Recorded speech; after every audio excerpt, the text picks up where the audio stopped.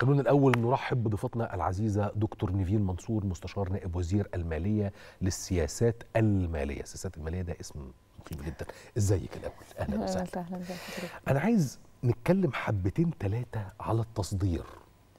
لأنه كلنا القصي والداني زي ما بيتقال أبسط مواطن وأكثر المواطنين انشغالا يعلم جيدا أنه التصدير يعني عائد.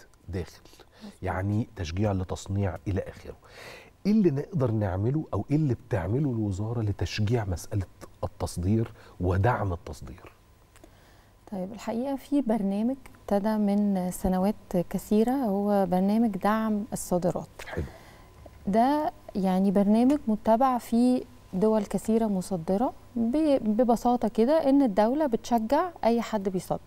بعد ما بيتم العملية التصديرية أو المصدر ده بيكمل العملية التصديرية وبيثبت إن هو كمل العملية التصديرية الدولة بتدعمه بجزء مادي أو ب يعني كاش في إن هو عمل عملية التصدير فبترجع له جزء من الفلوس اللي هو صدر بيها. حاجة أقرب ل volume rebate يعني.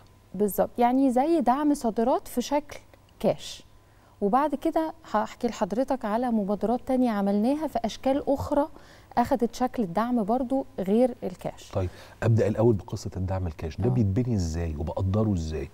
طيب ده طبعا شغل آه، أكتر وزارة التجارة والصناعة. هم عندهم زي آه، جداول ومعادلات.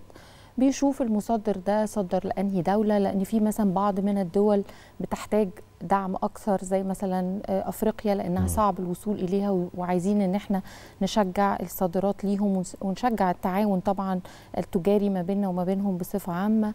فمثلا أفريقيا ممكن تاخد دعم أكتر. آه، ممكن مثلا لو آه، على حسب قيمة الدع... آه، قيمة الصادرات بتبقى قد إيه فبتدخل في شرايح. يعني ده شغل أكتر الحقيقة وزارة ودي تبع وزارة الصناعة بالظبط كده. بتبقى بحسب جداول وبحسب شوية شروط ومستندات وقد إيه المكون المحلي يعني أنا كمان كمصدر بح- بحط مكون محلي قد إيه.